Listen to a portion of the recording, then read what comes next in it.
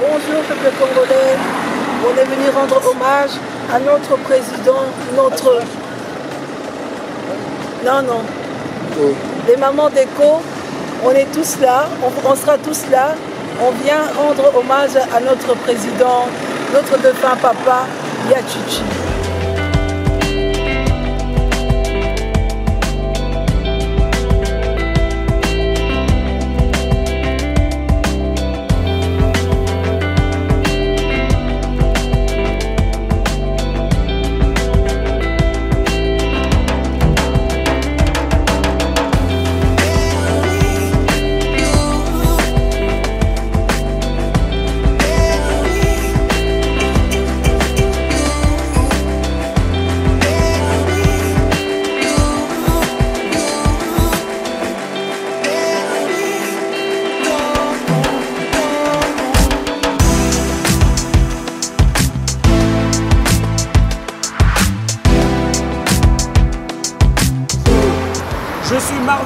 Loti Lutonadio, mesdames et messieurs, votre présentateur pour Media Plus TV. Nous sommes précisément à Molenbeek aujourd'hui, mesdames et messieurs. Nous sommes venus ici présentement devant cette euh, église où se tiendra une messe en honneur de Etienne Tshisekedi, le père de la démocratie, comme le dit le peuple congolais, le président fondateur de l'UDPS. Etienne Tshisekedi, comme vous le savez, son corps va rejoindre Kinshasa, il va rejoindre sa dernière demeure. Finalement, après deux ans, mesdames et messieurs, de nombreux Congolais sont attendus ici. Je ne serai pas seul, je serai en présence de mon confrère Marc Tabou, Marc le Saint Tabou, qui sera avec moi précisément pour vous relater et pour euh, également euh, décortiquer cette messe aujourd'hui qui se tiendra ici devant cette église. Soyez scotchés pour la suite. On se dit à tout à l'heure.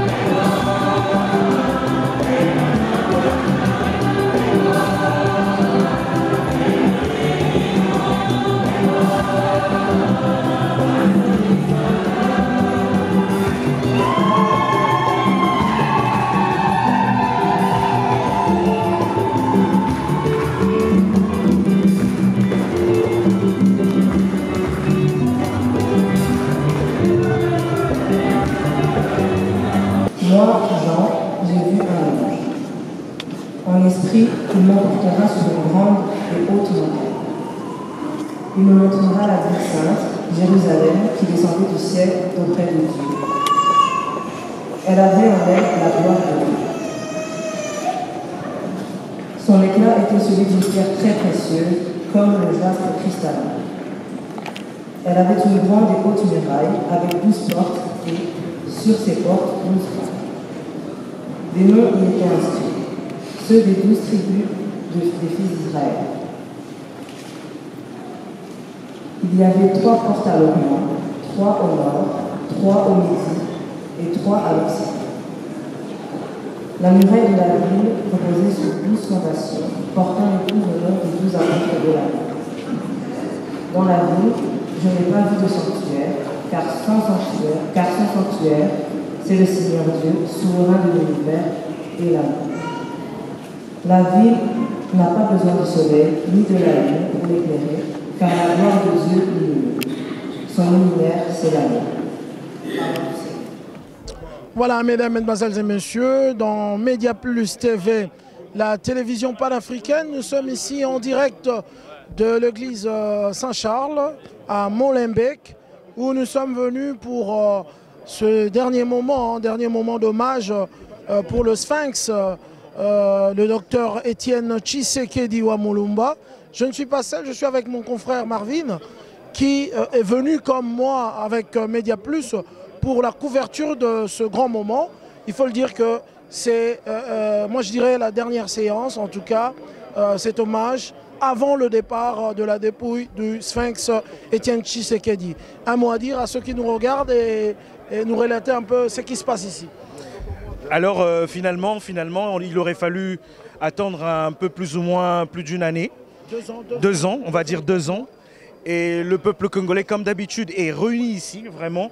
C'est une foule immense qui est ici pour rendre un hommage immense au Sphinx de Limité, au grand leader Maximo de l'UDPS, qui n'était pas seulement le leader Maximo de l'UDPS, mais qui était une figure emblématique pour la vie politique congolaise. Donc nous sommes ici pour rendre hommage euh, à cet illustre personnage dont le corps va rejoindre Kinshasa plus ou moins le 30 ici et nous allons recevoir plus ou moins recueillir euh, les propos, les témoignages de tous ceux qui seront ici avec Saint-Marc qui est là également pour Congo Média, Média, Média TV+. Voilà. Un ouf de soulagement pour les proches, pour la famille et surtout pour cette grande dame qui n'est autre que euh, maman Marthe, qui a fait deux ans et quatre mois, euh, comme vous le savez, hein, par rapport aux coutumes africaines. Donc euh, elle est restée assise, euh, comme on le dit, un apili Oui. pendant deux ans et quatre mois. Un mot pour cette grande dame.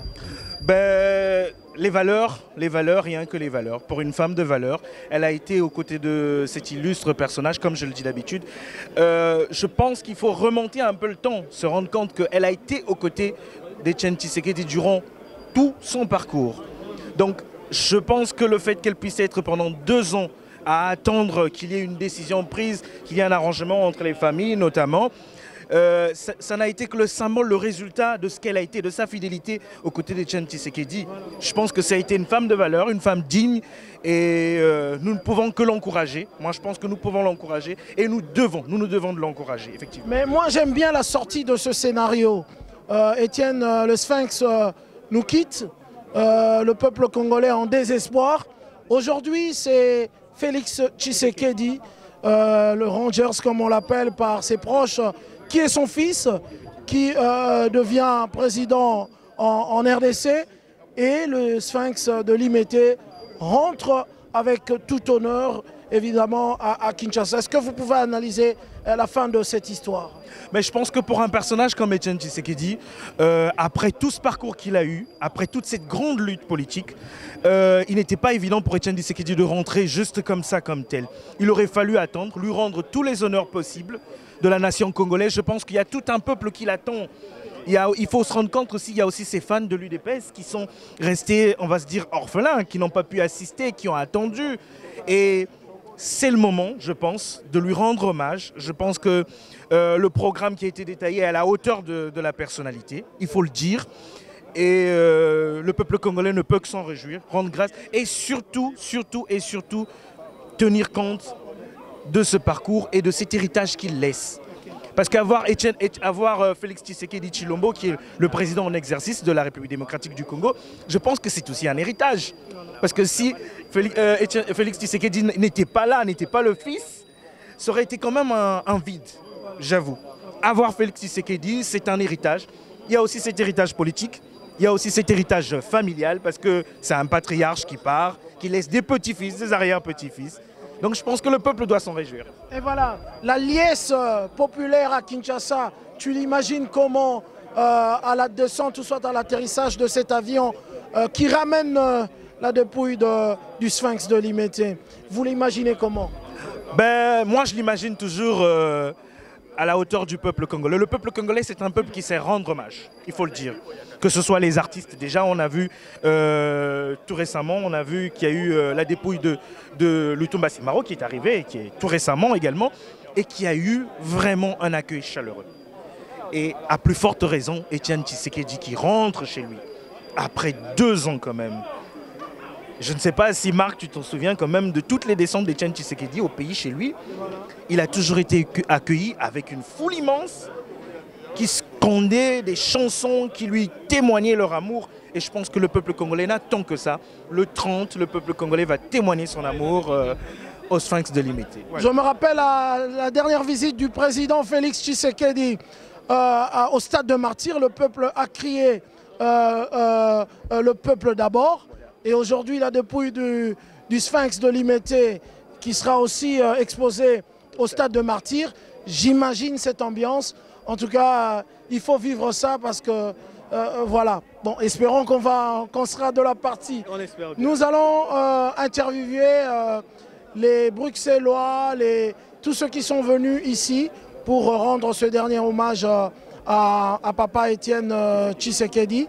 Donc nous allons directement, je ne sais pas, euh, on, va, essayer de voir. On va d'abord prendre Stan, qui est un confrère du Canada, qui est venu du Canada rien que pour ce, grand moment. Stan, euh, deux ans euh, et quatre mois. Maman Marthe a attendu ce moment et tout le peuple congolais.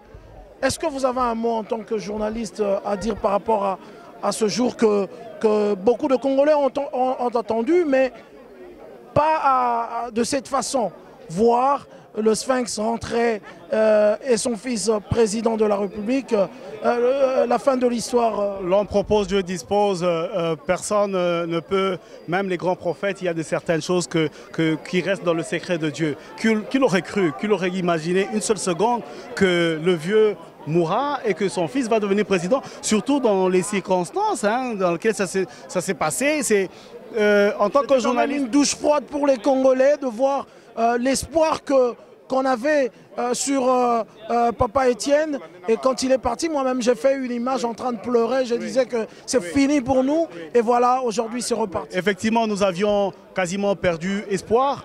Mais, pas totalement, pas totalement, parce que comme j'aime à le dire, Tshisekedi, quand bien même qu'il est parti, Tshisekedi a laissé derrière lui de milliers, de centaines de Tshisekedi. Félix Tshisekedi est aujourd'hui président. Après lui viendra encore, j'espère que l'UDPS va garder le pouvoir le plus longtemps possible. Après Tshisekedi, il y aura certainement un autre président et j'espère qu'il sera aussi issu de l'UDPS. Ok, c'est mon ami. Une question pour Stan. Alors, voir tout ce peuple congolais qui est ici, parce qu'après deux ans, on se dit souvent que on perd espoir, euh, il y a une sorte de froideur qui s'installe, mais voir tout ce peuple qui est ici rendre hommage à Etienne Tshisekedi, qu'est-ce que ça te dit exactement Moi, c'est vraiment un enseignement. Euh, c'est-à-dire de la constance. La constance, elle paye toujours. Le travail paye toujours. Ça, c'est pour moi le fruit d'un travail. C'est pas anodin. Il, a créé, il a fallu toute une vie, mais une longue vie pour le faire. Et c'est la consécration. Finalement, le travail et la constance, ça paye toujours. C'est une leçon. J'espère que les peuples congolais vont retenir quelque chose d'aujourd'hui. Et les Congolais qui vivent ici à Bruxelles. Marvin, on va, donner le micro à mon frère euh, qui, lui, vit entre Kinshasa euh, et, Bruxelles. Il s'appelle Camille le Privilégié. Euh, il a la chemise, euh, évidemment, qui montre le sphinx de Limité. Camille, vos impressions après deux ans, enfin, le corps de papa va rentrer, mais comme il n'était pas n'importe qui, mais il ne rentre pas aussi n'importe comment. Ouais, ben, merci beaucoup, c'est Marc. Ben, je veux te dire que moi, je viens d'arriver ce matin. Donc, je viens d'arriver ce matin de, de Kinshasa. Donc, euh, Kinshasa est en ébullition. Donc, euh, je te dis, le préparatif de l'arrivée du corps, je ne sais pas comment ça va, ça va, ça va, ça va se passer. Donc, euh, je suis venu et je profitais comme il y avait messe aujourd'hui. J'ai dit, ben, je ne veux pas manquer ça. Je veux venir me, recueillir comme, comme, comme tous les autres. Mais comme euh, le, précédent, euh, la, personne a dit, ça c'est un fruit du travail. C'est un fruit du travail, c'est un fruit de, la constance du, vieux. Deux ans après, et le vieux est toujours vivant. Quoi. Donc deux ans après, Tshisekedi est toujours vivant. Et Tshisekedi est vivant, il a formé encore plusieurs Tshisekedistes qui sont encore à, euh, à- à Kinshasa. Donc nous n'avons plus la peur. Donc on n'a plus la peur. On revendique maintenant nos droits en tant que citoyens, euh, euh, de citoyens congolais. Et, c'est grâce à lui, comme il avait toujours dit euh, durant son vivant, pour que le Congo soit développé, il faut toujours avoir l'amour du Congo et l'amour du Congolais. Il n'était pas n'importe qui, il ne rentre pas n'importe comment. Est-ce que vous pouvez essayer un peu de, nous expliquer ce que je suis en train de dire? Il n'était pas n'importe qui, deux ans après, il ne rentre pas comme n'importe n'importe comment. Ben, c'est le sphinx, c'est Tshisekedi Yaou, la- Wa- Wa Mulumba. Il a gardé toujours sa constance durant toute sa vie, euh, sa vie politique. Et le peuple congolais l'attend en ébullition. Je vous dis, euh, euh, le deuil Tshisekedi, de, de, de, Tshisekedi, c'est c'est- c'est devenu même un- comme un business. Parce qu'il y a des t-shirts qui se vendent, il y a de, de casquettes qui se vendent. il y a- à l'instar de la chemise. Voilà. Moi, j'ai acheté Il y a- Il y ça. a des écussons, il y a des écussons qui se vendent. Donc c'est- c'est c'est un business maintenant qui sont en train de, de- de- de se faire tout autour de Tshisekedi. Mais je vous dis, il faut y être là le 30. Moi, il j'ai faut y une être là le question 30. avant de, laisser- de- de- de laisser notre collègue Camille. Je voulais savoir, Camille, est-ce que vous avez un témoignage ou une anecdote vis-à-vis d'Etienne Tshisekedi Ben, le seul témoignage que j'ai de Etienne Tshisekedi, c'est il nous a demandé de ne pas avoir peur. De ne pas avoir peur. De réclamer nos droits et un état de droit au Congo. Donc c'est ce qui se passe maintenant avec notre euh, nouveau président Félix Tshisekedi. Donc euh, je vais vous dire un truc, ce n'est pas facile d'être opposant d'un démocrate. Ce n'est pas facile d'être opposant d'un démocrate. Tout est autorisé. Donc euh, nous vivons maintenant la, vraie démocratie en République démocratique du Congo.